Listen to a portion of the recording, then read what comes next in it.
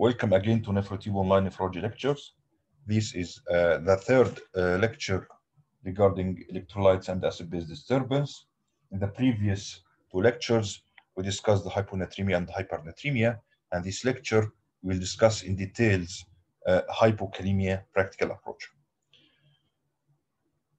All the videos of NephroTube webinars are available uh, on our YouTube channel, NephroTube. The PowerPoint is available at the website nephrotube.com. Please join our group and like our Facebook group, our Facebook page, uh, as our NephroTube team posts, posts daily uh, MCQs, cases, and uh, many materials related to nephrology. And you are welcome to follow us on Twitter. In general, hypokalemia diagnosed when the plasma potassium concentration is less than 3.5 milliequivalent per liter. This is my doc outline presentation, and then uh, a short note about normal potassium homeostasis. Uh, then the practical diagnostic approach for hypokalemia, and finally the management. Starting by presentation, there is no specific presentations, no specific presentation for hypokalemia. The clinical signs and symptoms are general, non-specific and usually all are related to the disturbance in the excitability of different tissues as potassium is important for the normal excitability of all excitable tissues in our body. So any disturbance of potassium, whatever, in cases of hypokalemia or even hyperkalemia, there will be a disturbance in the excitability of the tissues with normal, with abnormal response. So patient with hypokalemia may be presented by fatigue, constipation, proximal muscle weakness, hypotonia, and even cardiac arrhythmias. In chronic cases, they may be hypertension because there is an evidence that hypokalemia induces hypertension and the opposite is true. This may be related to the normal physiological response that in case of hypokalemia, there is more absorption of sodium, reabsorption of sodium in the nephron. And also there may be glucose intolerance and finally decreased urinary concentrating ability due to disturbance of the hyperosmotic uh, medullary interstitium. This is how the ECG of hypokalemic patient will appear. You may find the prolongation of the PR interval, maybe depressed ST segment, some way, somewhat flattening of the T wave, and finally, if the patient has a U wave, it may be prominent in these cases. Regarding the normal potassium homeostasis, regarding the normal potassium homeostasis, two important points that we will discuss in this uh, issue. The first is that the normal potassium concentration gradient difference between the cells and the extracellular fluid is maintained about by what is called the sodium potassium pump. By concentration gradient, normally potassium escapes from the cells to the extracellular fluid through leaky channels. Then the sodium potassium pump cause re-entry of potassium back into the cells by using a primary active transport and the use of ATP. This activity is very important for the normal excitability of different tissues. And so any factor which will activate sodium potassium pump will cause more entry of potassium again into the cell causing hypokalemia and the opposite. Any factor which decreases the activity of the sodium potassium pump will decrease the re-entry of the potassium back into the cell, causing hyperkalemia. That's why in the different causes that we will mention later, we will find causes which affect the sodium potassium pump will affect potassium level. For example, beta-2 agonists and insulin will activate different pathways which will finally activate sodium potassium pump causing re-entry of potassium into the cell and causing hypokalemia. The second important regulator of potassium in our body is the nephron. In short, potassium is reabsorbed after it is filtered through the glomerular basement membrane.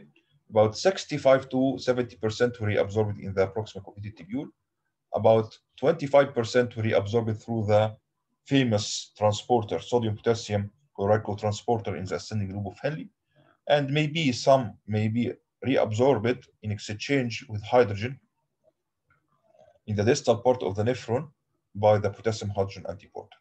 The main site for potassium excretion and the main regulator for the potassium excretion is in the distal part through the effect of the aldosterone hormone. So finally, what I want to say that aldosterone hormone, if it acts on the distal tubule, it will increase potassium secretion causing hypokalemia if it is in high level, increase potassium, uh, sorry, increase hydrogen secretion, which will cause metabolic alkalosis, and increase sodium reabsorption and water reabsorption, and it may cause uh, hypertension.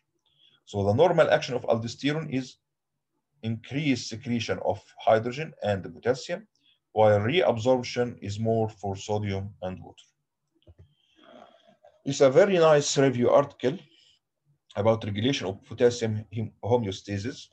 I uh, recommend it for you to read about potassium homeostasis in details.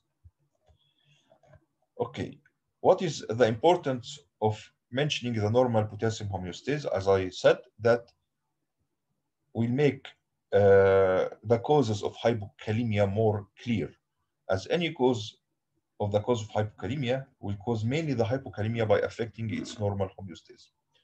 Regarding the diagnostic approach, if you have a case of hypokalemia, you have first to exclude transcellular potassium shift, which is mainly related to drugs.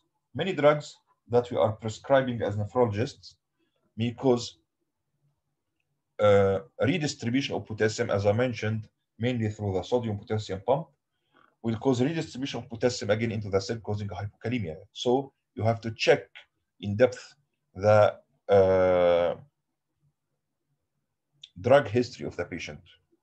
For example, beta agonists, insulin, theophylline, caffeine may cause redistribution of potassium. Also, alkalosis may cause hypokalemia, as in case of alkalosis, and it is mainly related also to, uh, or usually related to hypokalemia, and we'll discuss now in the approach how to diagnose if the patient has metabolic alkalosis and hypokalemia. But in general, alkalosis causing hypokalemia because in case of alkalosis, the cell will uh, get rid of hydrogen into the plasma to correct the alkalosis in exchange with potassium, which will go back into the cell causing hypokalemia.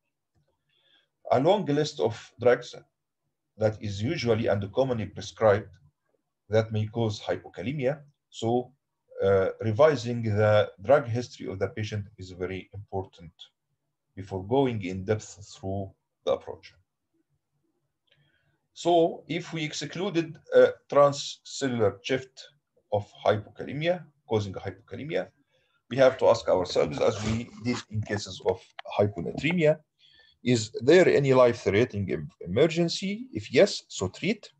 If no, and the case is cold, you have to measure urinary potassium over uh, urinary creatinine. Is the ratio more than 15 or not? If it is more than 15, so there is a lot of potassium which is lost in the urine. So the cause will be renal problem. If no, the ratio is less than 15, so the loss of the potassium is not from the kidneys. You have to ask yourself a question. Is the hypokalemia occurs in a matter of hours, especially if there is acute paralysis of the muscles in absence of acid-base disorder? If yes, check the patient thyroid profile. If the patient has criteria and lab parameters of hyperthyroidism, so, so the patient will be diagnosed as thyrotoxic hypokalemic periodic paralysis. If no, the patient will be diagnosed as familial hypokalemic periodic paralysis. If there is no acute paralysis, so you have to check the acid base of the patient, the ABG of the patient, and according to the uh, acid base disturbance, will uh, diagnose the cause. But actually, if you look at all the causes here, we'll find that all of them will really be clear from the start. The patient is, will have diarrhea, the patient had laxative abuse, the patient has a villus adenoma, he will be presented by hematochezia and GIT disturbance, use of bowel cleansing agent, whatever, you will find all of these causes will be clear or even a very rare causes that will be diagnosed later by exclusion. So actually, as I always try to simplify the approaches in my lectures, I think the most important part in this first part of the approach is the diagnosis of thyrotoxic hypokalemic periodic paralysis and familial hypokalemic periodic paralysis. I think this approach is important to diagnose these, uh, these two categories. But the other causes will be actually clear from the start and will be uh, diagnosed as a cause of hypokalemia without ongoing through the urine potassium urine creatinine ratio, except the rare causes that will be diagnosed later by exclusion. So let's go through the most important part regarding our specialty nephrology. What if there is renal loss? If there is, there is renal loss, you have to check the acid-base disturbance of the patient. If there is metabolic acidosis, metabolic alkalosis, or normal acid-base balance. If there is normal acid-base balance, so the hypokalemia may be due to post-obstructive diuresis recovery phase of ATN. And again, before I, I am going through this list, you will find that all the causes will be clear from the start. You will not be in need to, made, uh, to make the approach. Actually, post-obstructive diuresis, the patient will be oliguric, there will be history obstruction, recovery phase of ATN, especially oliguric ATN, which will become in the recovery more uh, polyuric, which is a polyuric phase of acute kidney injury. In these cases, we, we always find hypokalemia, hypocalcemia, and even hypomagnesemia. Magnesium, always we will, we have to always check magnesium level in cases of electrolyte disturbance as uh, electrolyte disturbance as uh, magnesium is related uh, to the uh, disturbance of many electrolytes as you will find in the lecture of uh, in the article that I uh, recommend for you to read. Also find here penicillin, cisplatin, aminoglycoside, foscarnet, all are drugs and you will find them in drug history and a very rare case, lysozymuria, that there is a loss of uh, lysozyme enzyme in the urine, very rare case uh, that will be diagnosed by exclusion. So mainly the causes of normal acid-base balance with hypokalemia and renal loss will be clear from the start. This important point, patient with metabolic acidosis. You have to measure the ammonia in the urine. If it is low, you will have distal renal tubular acidosis of amphotericin B. If it is high, you will find proximal renal tubular acidosis or toluene glue sniffing, but the patient has diabetic ketoacidosis, ureterosigmoidostomy, or the patient take carbonic anhydrase inhibitor. Again, all these causes will be clear from the start, except for the distal renal tubular acidosis and the proximal renal tubular acidosis that we have to differentiate between them. And we will talk about them in depth or in details in uh, the next lectures about the acid-base disturbance. Finally, what if the patient has metabolic alkalosis? If the patient has metabolic alkalosis, you have to check the urinary chloride. If it is low, less than uh, less uh, than uh, uh 10 millimole per liter, or more than 20 millimole per liter. If it is less than 10 millimole per liter, so there is a volume loss from the patient. The cause are vomiting, nasogastric suction, congenital chloride diarrhea. Again, all the cause may be evident and clear from the start. But the most important is if the patient has urinary chloride more than 20 millimole per liter, if the blood pressure is normal or even low in some cases, as in Bartter syndrome, the patient may uh, has a Bartter syndrome or Gitelman syndrome or on diuretics. And again, if the patient is on diuretics, will be clear from the start. If the patient is hypertensive, we'll go through another approach. So it is important here to differentiate between Bartter syndrome and Gitelman syndrome. According to this approach, both patients will have normal blood pressure, but it may be uh, lower in Bartter syndrome.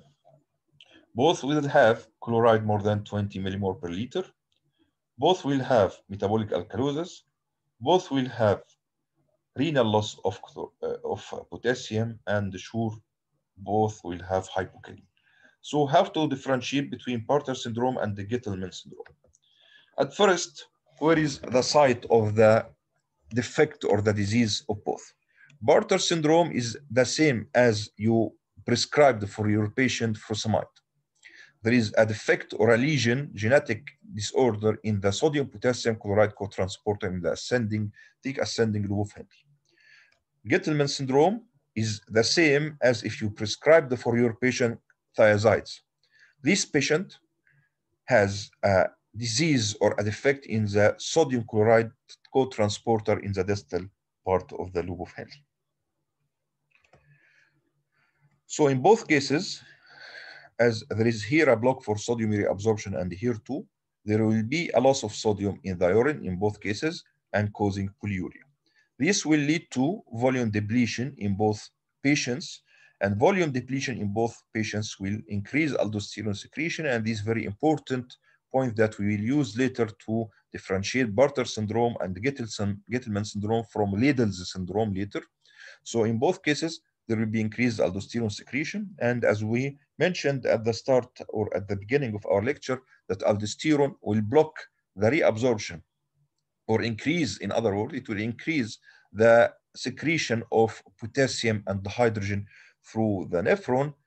So increased potassium loss will cause hypokalemia and increased hydrogen loss will cause metabolic alkalosis. Till now, clinically, or according to the pathogenesis, both Bartter syndrome and Gitelman syndrome had the same scenario except for the site of the lesion. So how to differentiate between both of them? Bartter syndrome, age of onset is usually at early childhood, but Gitelman syndrome occur at childhood or even later at early adolescence. In Bartter syndrome, the potassium loss is more, sorry, the sodium loss is more, so the polyuria and polydipsia will be more evident in Bartter syndrome than Gitelman syndrome, and the dehydration is more prominent in Bartter syndrome. That's will explain why I will mention later that the patients with Bartter syndrome may be hypotensive. Regarding the the calcium loss, the urinary calcium is normal or high in cases of Bartter syndrome, while it is low in cases of Gitelman syndrome. It is normal on high in case of Bartter syndrome shortly because in uh, uh, Bartter syndrome, the amount of sodium in the tubules is high. And physiologically, as the sodium in the lumen is high, this will decrease the reabsorption of calcium, causing normal or high calcium in the urine in cases of Bartter syndrome. And this one of the most important uh, lab issues, issues that differentiate between Bartter syndrome and Gitelman syndrome is the level of the potassium in urine. And finally, serum magnesium is low in cases of more in Gitelman syndrome as the disturbance or the region in this uh, co-transporter and this part of the nephron will affect also the magnesium reabsorption in Gitelman syndrome, causing more hypomagnesemia in cases of Gitelman syndrome, but in Bartter syndrome, the magnesium may be normal. And finally, what if the patient has high urinary chloride and hypertension? If the patient has high urinary chloride and hypertension, we have to measure the serum uh, renin and aldosterone, and according to their levels, we may diagnose the case. If the patient has high renin and high aldosterone, so the primary disorder is the in the hypersecretion of renin, which will lead to high aldosterone level. this usually occurs in case of secondary hyperaldosteronism, in cause which you cause which will uh, uh, increase the renin level at first. Malignant hypertension, renovascular hypertension, renin secreting tumors. All these cases causes inc cause increase renin level, which will lead to high aldosterone level. so in this case, you have to make renal Doppler ultrasound and imaging for the patient abdomen and pelvis to exclude tumors and malignancies that may cause increased renin secretion. The patient has high uh, has uh, low renin and high aldosterone, So the primary etiology here is in the high aldosterone that will be followed as a feedback, negative feedback, feedback by inhibition of the renin. So the patient will have low renin.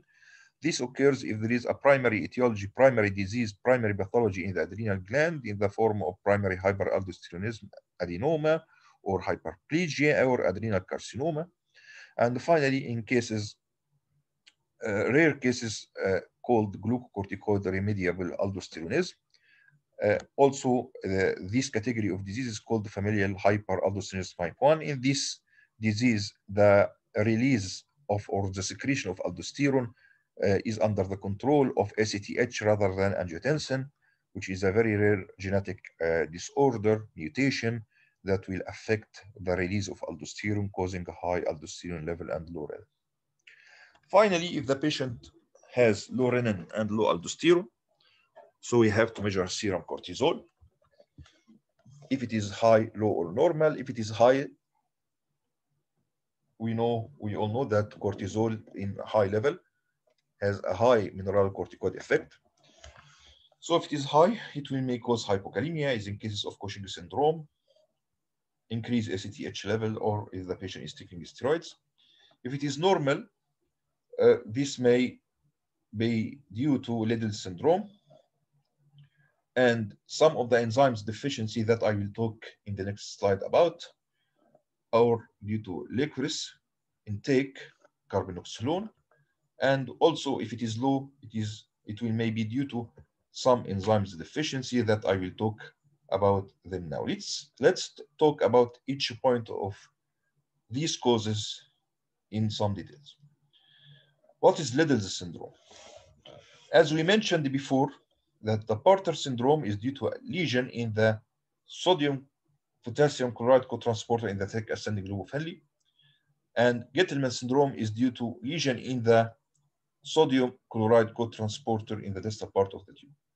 Regarding Liddle syndrome, what is the lesion? The lesion is the distal part due to overexpression of the apical sodium channels. The overexpression of apical sodium channels will cause massive reabsorption of sodium with massive loss of potassium. So in this case, you will find reabsorption of sodium, which will cause hypertension and edema, and loss of potassium, which will cause hypokalemia. And this what differentiates Liddle syndrome from Gitelman and Bartter syndrome, that the patient is hypertensive and maybe edematous, while in Bartter and Gitelman, the patient is hypotensive or normotensive. And in Liddle syndrome, as a reflex or as a feedback, the aldosterone will be low. But in Gitelman and uh, Bartter syndrome, as we mentioned, that the aldosterone will be high and that we will cause metabolic alkalosis and hypokalemia in these cases. So at the end, the difference between Bartter, Gitelman, and Liddle's, that the blood pressure is high in Liddle's, normal in Bartter syndrome and Gitelman syndrome, and maybe low in Bartter syndrome. The aldosterone as a reflex will be increased in Bartter syndrome and Gitelman syndrome, while it be low in Liddle syndrome. Okay, what about these enzymes and how they affect the potassium level? The norm, this is the normal pathway for the cholesterol and how other hormones will be developed from cholesterol. If there is 17 alpha hydroxylase enzyme deficiency, so the arm of the normal pathway will be broken here with deficiency in cortisol and the estrogen level. And the arm will continue into aldosterone, causing a high level of aldosterone and causing hypokalemia. While in case of 11 beta hydroxylase deficiency, there will be no formation or later formation of cortisol and aldosterone, and all the arm from cholesterol will go into estrogens, androgens, and androstenedione. All of these, especially in high level, have a high mineralocorticoid effect causing hypokalemia. Back to the algorithm, how licorice may cause hypokalemia. Normally, the cortisol has aldosterone-like effect, has a high mineralocorticoid effect. But normally cortisol is converted into cortisone by 11 beta hydroxysteroid dehydrogenase enzyme, decreasing its mineralocorticoid effect. Licorice and many other drugs and gums cause hypokalemia by inhibition of 11 beta hydroxysteroid dehydrogenase, which will affect the level of cortisol, making a high level of cortisol, which will stimulate the aldosterone receptors with its high mineralocorticoid effect causing hypokalemia. So that was the diagnostic approach for hypokalemia.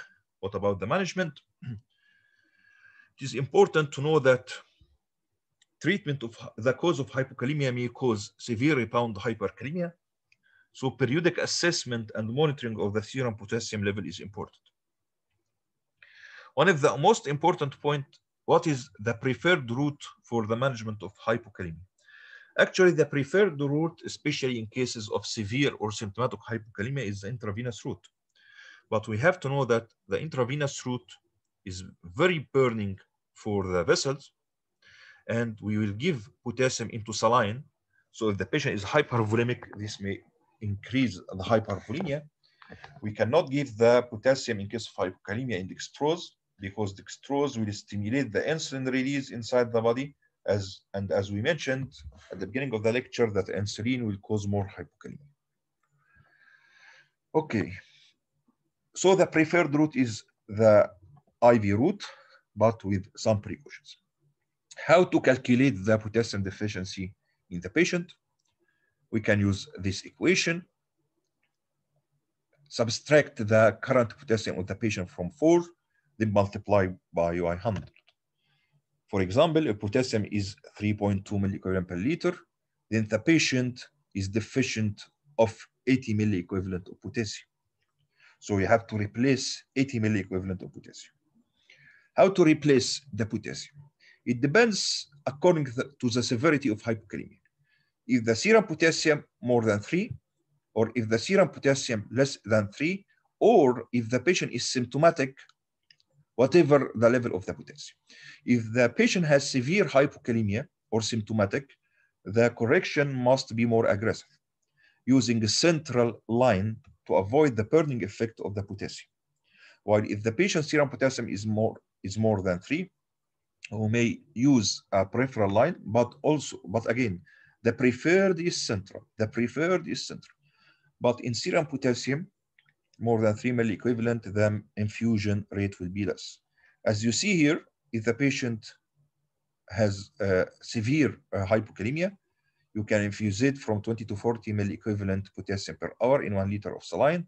And here you will infuse it about 10 milli equivalent per liter. Uh, if the patient is hypervolemic, you can substitute the one liter by 100 milli of saline. But if the, uh, there is a possibility to dilute the potassium more, it would be better to avoid its burning effect. Many approaches are available in the different literatures about how to deliver the total uh, infusion rate of the potassium. The most accepted is to give the infusion for about three hours and then recheck the potassium level again. And if the patient is still hypokalemic, you have to replace for another three hours and then recheck the potassium level again and so on. This is important to avoid the rebound hyperkalemia as if you are treating the cause of hypokalemia, the potassium may be corrected rapidly than you expected. An important point that if the serum potassium is more than 3 milligram per liter, you may replace, and it is better to replace the potassium orally than intravenous infusion. You have to give the patient 10 20 to 20 milliequivalent uh, of potassium two to four times daily with a maximum single dose of 40 milliequivalent uh, because the potassium may cause uh, gastrointestinal disturbance and gastrointestinal side effects. And finally, again and again, take care of the danger of rapid onset hyperkalemia. You have always to three check potassium level. Thank you for watching and see you in the next lecture of hyperkalemia. Thank you.